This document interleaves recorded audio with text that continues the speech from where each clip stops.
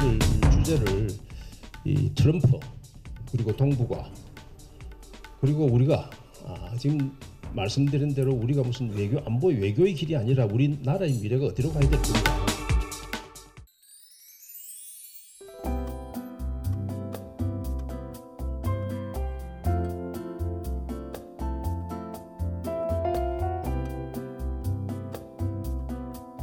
정말 우리 뭐 역대 많은 외교부 장관님이 계십니다만 지금 현재 퇴임 이후에 가장 왕성하고 또 국가 외교 안보 정책에 있어서 어, 중요한 말씀들을 하고 계신 분이라고 생각하고 있습니다.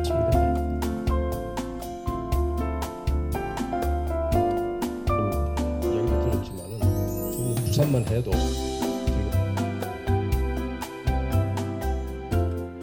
이제 미국 국민들이 어떻게 생각하냐면은 2차 대전 후 이 70년 동안 세계 질서를 해오던 이거 이제 미국이 할 필요 없다.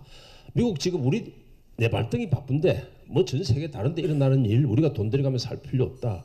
이런 생각이 많이 들고 그래서 그 주도 이 미국이 세계 질서를 주도하려는 역량이 떨어지고 그러면서 의지가 저하되는 과정에서 트럼프라는 그런 대통령이 이 탄생한 겁니다.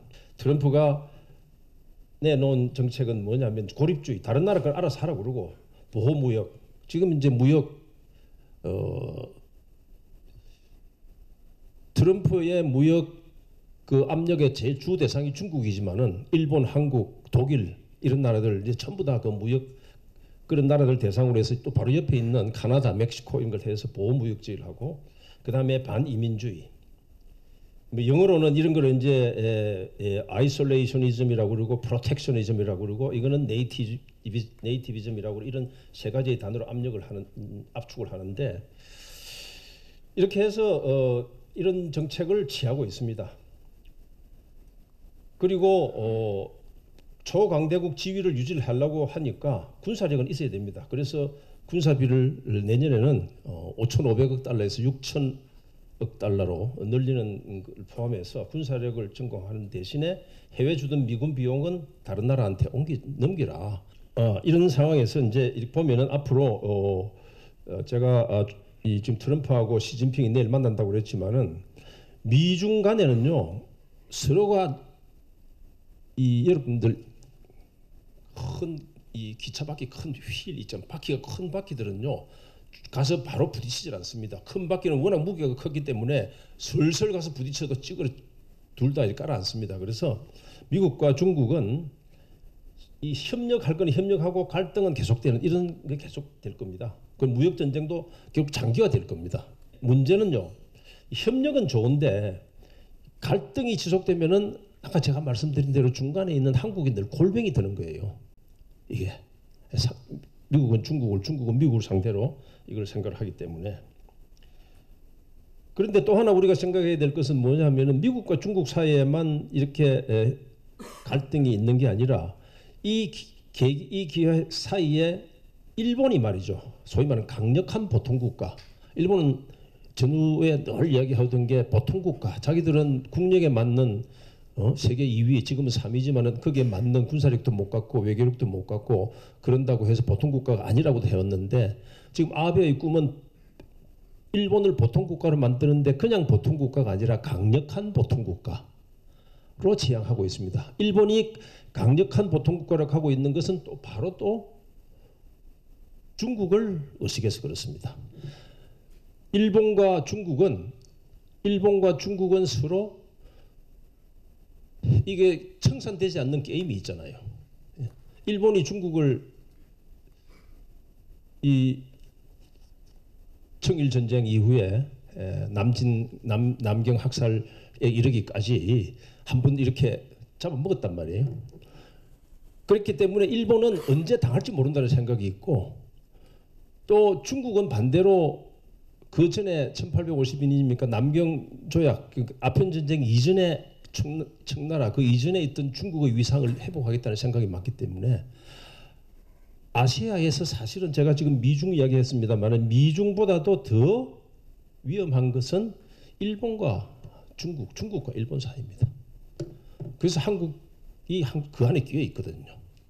지금 이 소현상 문제라든지 아베가 하- 한국에 대해서 정책을 하고 있고 과거사 문제에 대해서 역사 문제에 대해서 강하게 나오고 있고 한 것은 한국만을 보고 하는 게 아닙니다. 한국 그보다는 한국 넘어서 중국을 생각하는 겁니다. 과거사 문제는. 예. 그리고 중국도 얼마 전에 일본이 중국을 침략했던 기간을 역사책에서 늘렸어요. 중국 자체의 민족주의 이 공산당에서 당 중국이라는 체제를 유지하는 과정에서 그러한 민족주의 성향을 적절히 활용하고 있는 건데 이런 상황에서 어, 지금 이제 이 강력한 보통국가 일본이라는 것이 지금 우리는 조그마한 모양으로 지금 부산에 소년상 서울을 대사관 앞에 소년상 여기 영상 앞에 소년상 나타나지만 그거는 그게 그냥 이렇게 있는 게 아니고 그런 이런 문제가 불거진 것에서는 우리 자체의 여러 가지 행위도 있었지만은 또 일본이 거기에 대응해 나오는 그 밑에 뿌리가 있는 겁니다. 근데 이런 상황에서 우리가 제일 예, 염두에 두는 거는 가장 지금 당장 문제가 되어 있는 북한. 예? 어저께 전 세계 신문에 일면으로 났습니다. 북한 중국이 북한 문제 해결하지 않으면 내가 해결하겠다 그랬어요. 우리, 아, 우리가 예. 중국이 북한 문제 해결하지 않으면 우리가 해결하겠다. 그러니까 상당히 지금 굉장히 긴장해 있고 어, 미국의 MBC 방송 같은 데는 메인 앵커가 지금 한국에 와서 진을 치고 오산에서 이렇게 하고 왜냐하면 여기 우리 신문사에서 계시지만은 어, 언론이라는 거는 굉장히 뉴스가 있는 곳이면 지옥이 더 된다 따라가지 않습니까? 그래서 에, 한반도에 굉장히 뭐 긴장의 도가니에 있는 것처럼 이렇게 하는데 제가 보기에는 뭐 그렇게까지 일지는 모르지만 어, 하여튼 그 말은 이, 이 트럼프가 어, 중국이 북한 문제 해결 안 하면 우리가 해결하겠다는 바람에 상당히 이제 과연 뭐 어떻게 해결할 거냐 이런 음, 궁금증이 아니라 상당히 긴장을 일으키는데 이제 이런 굉장한 어려운 일을 할 수 있는 정부를 우리가 선출해야 될 겁니다. 무슨 어려움이 있냐 하면은 이 두 가지 사이클이 지난 한 20년 동안 우리나라에서는 완전히 온탕냉탕으로 갔습니다. 이명박 정부가 들어 왔을 때는 그 전에 김대중 노무현 정부가 했던 거 다 바꾸라. 예, 다 바꾸라. 그래서 싹 다 뒤집었어요. 그래서 또 지난 한 8, 9년 동안 이렇게 왔습니다. 그런데 앞 다음 정부에 지금 아무래도 뭐 정권 교체가 될 거라고들 이야기를 합니다만 다음 정부에 다시 진보적인 정부가 들어와서 하면은 그 동안에 이명박 박근혜가 정부에서 했던 거 싹 다 바꾸라. 그런데 제가 보기에는 그 정답이 뭐, 정, 뭐 정답은 있겠습니까만 가장 현실적인 답은 그 양쪽의 극단에 있는 게 아니고 그 가운데 어디에 있어요. 왜냐?